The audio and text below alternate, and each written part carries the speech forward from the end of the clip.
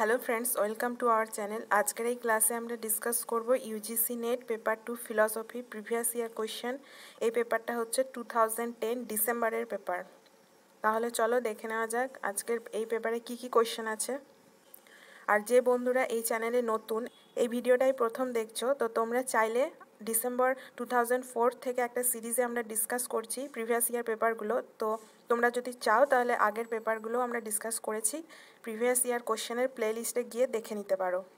আজকের এই ক্লাসের ফার্স্ট কোয়েশ্চেন হলো correct number of Samhitas is সংহিতা কত প্রকার আছে? One two three four right answer হবে অপশন ডি ফোর চার রকম সংহিতা আছে। ঋগ, সাম, যজু, অথর্ব, তো এই চারটে বেদ আছে। চার বেদের চার রকম সংহিতা আছে। ঋগ সংহিতা সাম সংহিতা যজু সংহিতা এবং অথর্ব সংহিতা next question according to Jainas truth is জৈনদের মতে ট্রুথ কি? Absolute relative both absolute and relative none of the above right answer হবে অপশন বি রিলেটিভ জৈনদের মতে ট্রুথ হচ্ছে আপেক্ষিক। কেন কি আমরা কোনো বস্তুর সামগ্রিক জ্ঞান লাভ করতে পারি না। কোনো বস্তুর আমরা সবসময় আংশিক জ্ঞান লাভ করি। তাই এখানে জৈনদের মতে ট্রুথ হচ্ছে relative truth next the priest belonging to Samaveda is সামবেদের পুরোহিতকে কি বলা হয়? Udgata, Hota, Brahman or none of the above right answer হবে অপশন এ উদ্গতা বলা হয়। ঋগ্বেদের পুরোহিতকে হোতা বলা হয়, সামবেদের পুরোহিতকে উদ্গতা বলা হয়। আর অথর্ব বেদের পুরোহিতকে বলা হয় ব্রহ্ম। Question number four shabda is pramana but not an independent pramana according to কাদের মতে শব্দ হচ্ছে প্রমাণ, কিন্তু স্বতন্ত্র প্রমাণ নয়? অপশন হলো Charvaka Vaisheshika, Buddha none of the above right answer হবে অপশন সি বুদ্ধা। বৌদ্ধ দার্শনিকদের মতে তারা দুই প্রকার স্বতন্ত্র প্রমাণ স্বীকার করেছে, প্রত্যক্ষ এবং অনুমান। এছাড়াও তারা শব্দ প্রমাণকে স্বীকার করেছে বাট শব্দ প্রমাণ স্বতন্ত্র প্রমাণ নয় ইন্ডিপেন্ডেন্ট প্রমাণ নয়। Next question choose the correct combination samanya lakshana, jnana লক্ষণ, কেবলও এইভাবে আছে। তো এখানে সন্নিকর্ষ, অলৌকিক প্রত্যক্ষের যে টাইপসগুলো আছে, সেই নিয়ে এখানে সিকোয়েন্সগুলো দেওয়া হয়েছে। তো এটা রাইট অ্যান্সার হবে অপশন ডি সামান্য লক্ষণ, জ্ঞান লক্ষণ এবং যোগজ প্রত্যক্ষ। Next question which one is not a state of samadhi কোনটা সমাধির স্টেট নয়? একাগ্র, সবিতর্ক, সবিচার, সানন্দ। কোনটা নয় বলেছে? তাই রাইট অ্যান্সার হবে অপশান এ একাগ্র। একাগ্রটা হচ্ছে চিত্তবৃত্তি। যে চিত্তের পাঁচ রকম বৃত্তি আছে, ক্ষিপ্ত, মূঢ়, বিক্ষিপ্ত, একাগ্র, নিরুদ্ধ, তো একাগ্র হচ্ছে চিত্তবৃত্তি। বাকি সবিতর্ক, সবিচার সানন্দ এবং শাসমিত এই চার প্রকার হচ্ছে সম্প্রগাত সমাধির ভাগ। যোগ দর্শনে যে সম্প্রগাত সমাধি আছে, তারই চারটি ভাগ। Okay next question who holds that the parimana or dimension of the body is the parimana of the atma? দেহ পরিমাণ ইজ দ্য পরিমাণ অব আত্মা। আত্মার পরিমাণ আত্মারই পরিমাণ। দেহের যেটা পরিমাণ, সেটাই হচ্ছে আত্মারও পরিমাণ। কে বলেছেন? চার ভাগ Jain, Vaisheshika, none of the above. Right answer হবে অপশন বি, জৈন। জৈনগণ দেহ পরিণামবাদী ছিলেন। তাদের মতে আত্মা দেহের কোনো একটা নির্দিষ্ট অংশে থাকে না। পুরো বডি জুড়েই আত্মা থাকে। এবং সেই শরীরটা যতটা বড় হবে, যত বিস্তৃত হবে, আত্মাটাও ততটাই বিস্তৃত হবে। যেহেতু আত্মাটা পুরো বডি জুড়েই থাকছে। সেই জন্য তারা বলে যে, একটা মশার আত্মার থেকে একটা হাতির আত্মা অনেক বড়, কারণ হাতির শরীরটা বড়, মশার শরীরটা ছোট। তাই তাদের দেহ পরিণামবাদী বলা হয়। Next question according to Madhva jiva and Brahman আর জীব এবং ব্রহ্মের সাথে রিলেশন কি? Different non different both different and non different none of the above right answer হবে অপশন এ ডিফারেন্ট মধ্যবের মতে জীব বা সেলফের সাথে ব্রহ্মের রিলেশনটা হলো ডিফারেন্ট কারণ মাধবাচার্য ছিলেন ভেদাভেদবাদী। নোশন অফ ডিফারেন্সের কথা উনি বলেছেন, যেখানে সেলফ এবং আলটিমেট রিয়ালিটি বা ব্রহ্মের মধ্যে পার্থক্য আছে। আর উনি পাঁচ রকম ডিফারেন্সের কথা বলেছেন, যেগুলো হচ্ছে difference between God and self difference between God and the matter difference between self and the matter তারপরে difference between one self and another self তারপরে লাস্ট হচ্ছে difference between one form of matter and another matter তো উনি এখানে ডিফারেন্সের কথা বলেছেন। বাকি নন ডিফারেন্টের কথা বলেছেন যে শুদ্ধাদ্বৈতবাদী বল্লভাচার্য নন ডিফারেন্সের কথা বলেছেন, যেটাকে বলা হয় পিওর নন ডুয়েলিজম তারপরে both different and non different এটা হচ্ছে ভেদাভেদবাদ। ভেদ এবং অভেদ দু রকম সম্বন্ধের কথাই বলেছেন নিম্বাকাচার্য। নিম্বাকাচার্যের মতে যে ব্রহ্মের সাথে জীবের relation both different and non different next question the Vaisheshika holds that the parimana of the trasarenu is due to ত্রস্যরেণুর পরিমাণটা কিসের জন্য হয়? The parimana of the paramanus the parimana of the dvyanuka the number of its constituent dvyanuka the number of the paramanus. Right answer হবে option B parimana of the dvyanuka. তাহলে পরে দুটো পরমাণু নিয়ে হয় একটা দ্রণুক এবং তিনটি দ্রণুক নিয়ে হয় একটি তসরেণু বা ত্রণুক। তারপরে চারটি ত্রসরেণু নিয়ে হয় একটি চতুরণুক। তাহলে দ্য পরিমাণ অব দ্য দ্রণুকাস অর্থাৎ তিনটি দ্রণুক নিয়ে হয় একটি ত্রসরেণু next choose the correct combination ওখানে কারেক্ট কম্বিনেশন কোনটা সেটা চুজ করতে বলা হচ্ছে আকাশ এক নিত্য বিভু আত্মা, এক নিত্য মূর্ত, কাল, এক নিত্য মহৎ এবং সামান্য অনেক নিত্য বিভু। রাইট অ্যান্সার হবে অপশন এ আকাশ হচ্ছে এক এবং নিত্য এবং বিভু। বিভু অর্থাৎ সর্বব্যাপী, সব জায়গায় ছড়িয়ে আছে। নেক্সট ম্যাচিং দেওয়া হয়েছে।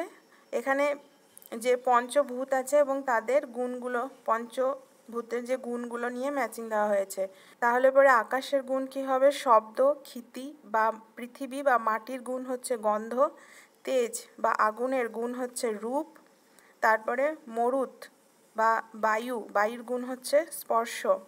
তাহলে রাইট অ্যান্সার হবে option B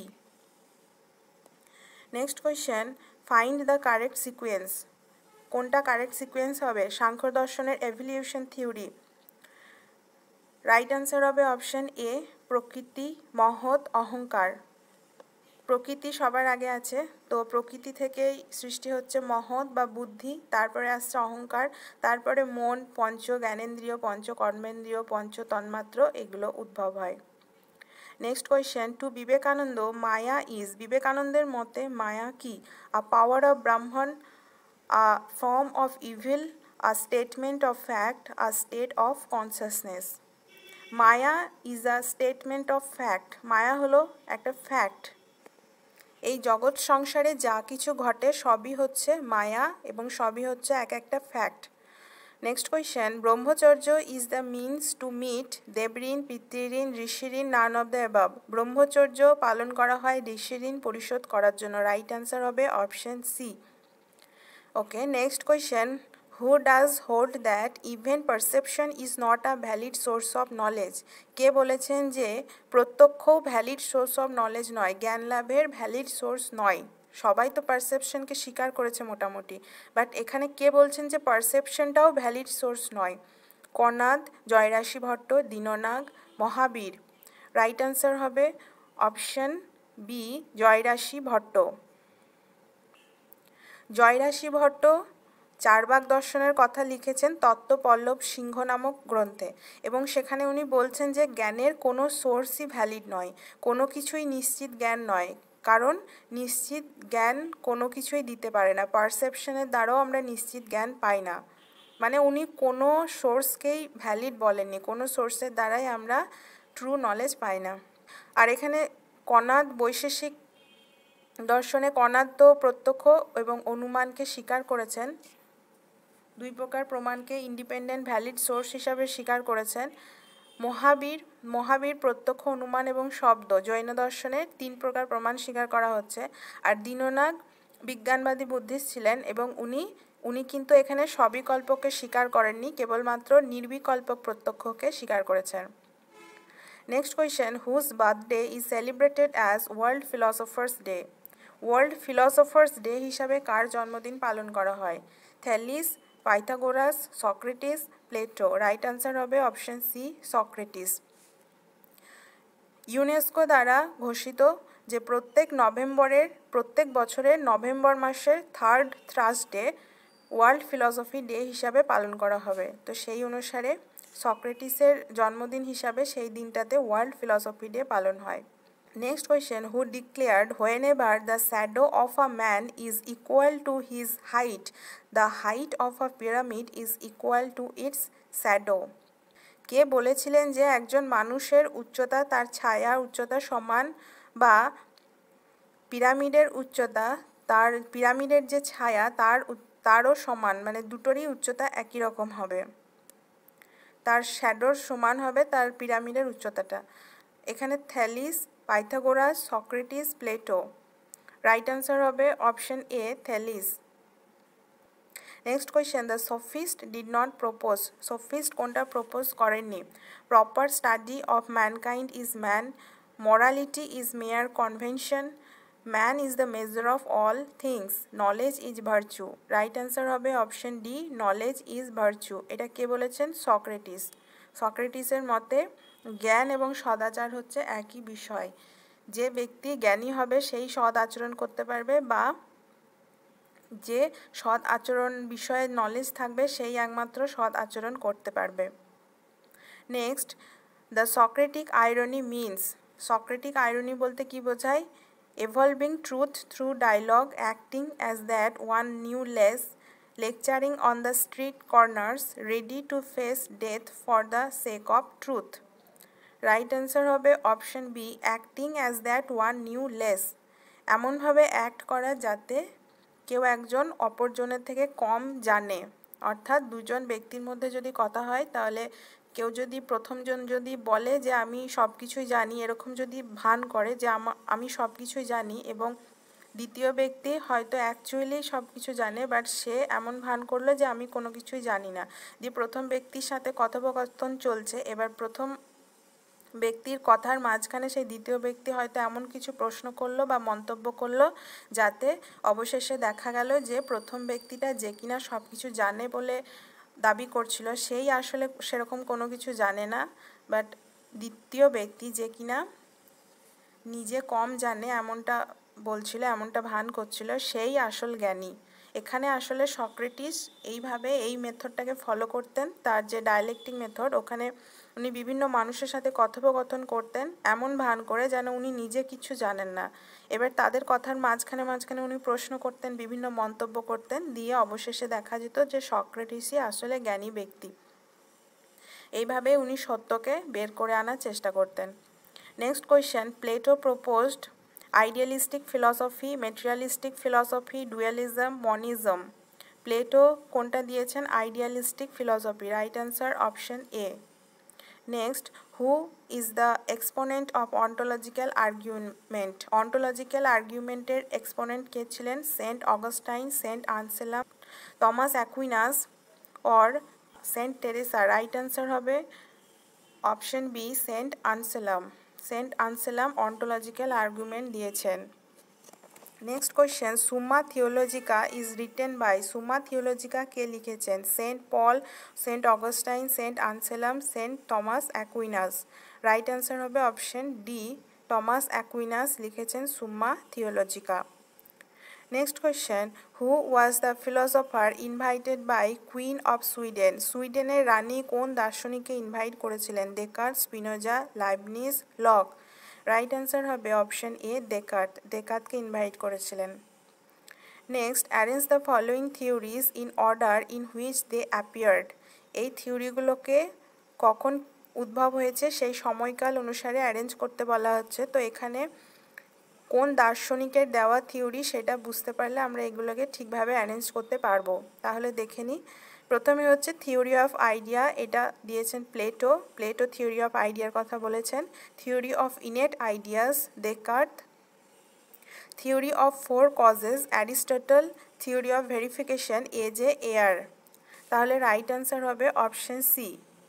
সবার আগে হচ্ছে প্লেটো, তারপরে হচ্ছে অ্যারিস্টটল, তারপরে হচ্ছে দেকার্থ এবং সবার লাস্টে হচ্ছে A J Ayer Next question. According to Descartes, to attend certainty false opinion and traditional views are to be replaced নিশ্চিত জ্ঞান পেতে গেলে আমাদের যে ফলস ওপিনিয়ন ট্র্যাডিশনাল ভিউজ সেগুলোকে রিপ্লেস করা দরকার সেগুলোকে পরিবর্তন করা দরকার। তো এটা কি বলে? এটাকে scholarly opinion faculty of reason sense perception or scriptures right answer হবে option B faculty of reason কারণ উনি রিজেনের কথা বলেছেন নলেজ হচ্ছে সবসময় রিজেন রিজনেবল হবে। তাহলে এখানে সার্টেন নলেজ পেতে গেলে সেই নলেজকে রিজনেবল হতে হবে। সেখানে রিজন যাতে থাকে, সেখানে যাতে বুদ্ধি ইউজ হয়, সেটা দেখতে হবে। Next question which is the independent monad according to Leibniz লাইবনিজের মতে ইন্ডিপেন্ডেন্ট মনার্ট কি? Soul universe space time right answer হবে অপশন এ সোল লাইবনিজের মতে সোল হচ্ছে ইন্ডিপেন্ডেন্ট মনার্ট স্বতন্ত্র মনার্ট লাইবিনিজ বলেছেন যে মনার্ডগুলো হচ্ছে এক একটা চেতন স্পিরিট বা সোল এবং প্রত্যেকটা মনার্ড হচ্ছে স্পিরিচুয়াল আর মনার্ডগুলো বিস্তারহীন, তাদের কোনো স্পেস থাকে না বলে সেগুলোকে বিভাজন করা যায় না আর এই মনার্ডগুলো হচ্ছে এক একটা স্পিরিট বা স্পিরিচুয়াল মনার্ড স্পিরিট মানে হচ্ছে সোল আর যেহেতু তারা উইন্ডোলেস, একে অপরের সাথে ইন্টারেক্টও করে না এবং তারা হচ্ছে সেই জন্য তারা হচ্ছে independent monad next all knowledge according to Locke comes through two avenues লকের মতে, সমস্ত জ্ঞান কিসের মধ্যে দিয়ে আসে? Reason and ideas sensation and reflection ideas and experience experience and reason right answer option B sensation এবং রিফ্লেকশনের দ্বারা আমরা কোনো বস্তুর ধারণা লাভ করি, যেটাকে উনি জ্ঞান বলছেন। Next Hegel's philosophy is known as হেগেলের দর্শনকে কি বলে? Subjective idealism objective idealism absolute idealism or continental rationalism তো রাইট অ্যান্সার হবে option C absolute idealism next question who propounded the theory of language game language game theory কে দিয়েছেন?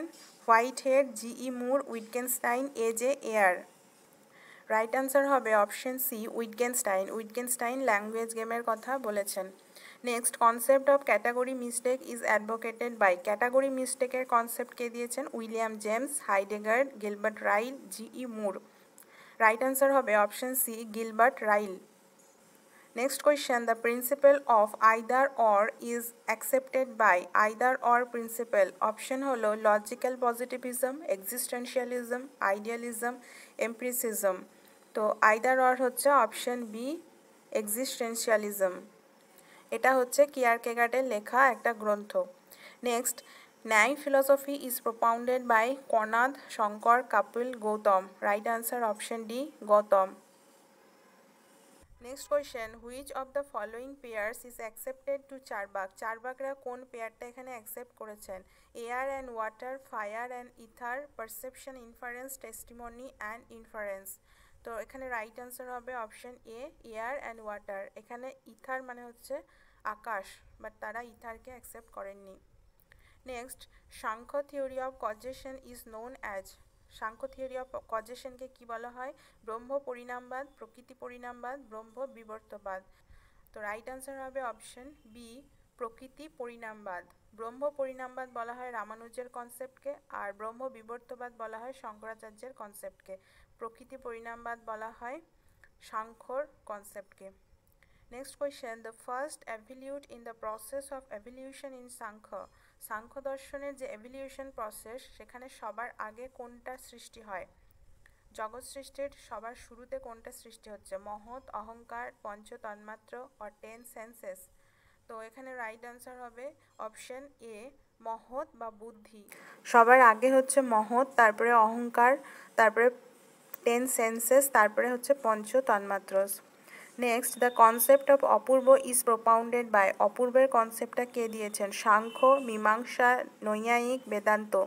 তো অপূর্ব মানে হচ্ছে যেখানে আমাদের কাজের ফলটা সঞ্চিত থাকে। এখানে অপূর্বর কনসেপ্ট দিয়েছেন মীমাংসা। আর এই একই জিনিস বাট নামটা অন্যরকম, সেটা হচ্ছে অদৃষ্ট। অদৃষ্টের কনসেপ্টটা দিয়েছেন নৈয়ায়িক। মীমাংসা হলে হবে অপূর্ব এবং নৈয়ায়িক হলে হবে অদৃষ্ট। Next question Education is the manifestation of the perfection already in man is the view of Radhakrishnan, Vivekananda, Aurobindo, Rabindranath Tagore. তো রাইট অ্যান্সার হবে অপশন বি এটা তো আমরা সবাই জানি ওনার একটা বিখ্যাত কোটেশন তো নেক্সট কোয়েশ্চেন হচ্ছে who has given the concept of integral yoga integral যোগার কনসেপ্টটা কে দিয়েছেন? বিবেকানন্দ, অরবিন্দ, গান্ধীজি, রাধাকৃষ্ণান। রাইট অ্যান্সার হবে অপশন বি, শ্রী অরবিন্দ দিয়েছেন ইন্টিগ্রাল যোগার concept. Next question, Gandhi means by Sarvodaya. Sarvodaya বলতে কি বুঝিয়েছেন Gandhi? Uplift of some uplift of majority uplift of all right answer হবে আপলিফট অফ অল সর্বদয় বলতে উনি সবার উন্নতির কথা বলেছেন বা সকলের কল্যাণের কথা বলেছেন। Next who among the following is an Ionic philosopher Heraclitus Zeno Thales Anaxagoras তো আয়োনিয়ান ফিলসফার ছিলেন option C Thales next according to the Descartes God is an eternal substance দেকার্টের মতে, ঈশ্বর হলেন ইটার্নাল সাবস্টেন্স তো এখানে অ্যাসারসেনটা কারেক্ট আছে। তারপরে হচ্ছে according to Descartes everything in nature has mind or soul দেকার্টের মতে প্রকৃতিতে যা কিছু আছে সবেরই মাইন্ড বা সোল আছে। এটা ইনকারেক্ট কারণ জড়বস্তুর মধ্যে মাইন্ড বা সোল নেই। এটা লাইবনিজ বলেছিলেন যে সব কিছুই হচ্ছে স্পিরিচুয়াল সবার মধ্যে স্পিরিট আছে সোল আছে বা চেতনা আছে। বাট দেকার্ট বলছেন যে জড়বস্তুর মধ্যে সোল বা মাইন্ড নেই। তাই এখানে রাইট অ্যান্সার হবে option C A is true and R is false next question the category of soul or jiva is divided into five in Jainism Jain দর্শনে সেলফকে পাঁচ ভাগে ভাগ করা হয়েছে বাট এটা ফলস জৈন মতে আত্মা হচ্ছে দুই প্রকার, একটা হচ্ছে মুক্ত আত্মা এবং বদ্ধ আত্মা। তারপরে রিজন হলো soul is an extended substance এটা কারেক্ট সোল হলো এক্সটেন্ডেড সাবস্টেন্স বডি অনুসারে শোল বড় বা ছোট হয়। তাহলে এখানে রাইট অ্যান্সার হবে option B A is false and R is true next question the thinker who called for the revolution of the values is revolution of ভ্যালুজের কথা কে বলেছেন? Nietzsche, Heidegger Kant Sartre. Right answer হবে option A Nietzsche. Next care is the কি concept of কেয়ারের কথা কে বলছেন? J P Sartre, Nietzsche, Heidegger, Albert Camus, right answer হবে অপশান সি, হাইডেগার্ড। হাইডেগার্ড কেয়ারের কথা বলেছেন। ঠিক আছে বন্ধুরা, এই ছিল এই পেপারের কিছু ইম্পর্টেন্ট কোয়েশ্চেন আনসার আজকের ক্লাসটা আমরা এখানেই শেষ করছি। ফিরে আসছি নেক্সট ক্লাসে থ্যাংক ইউ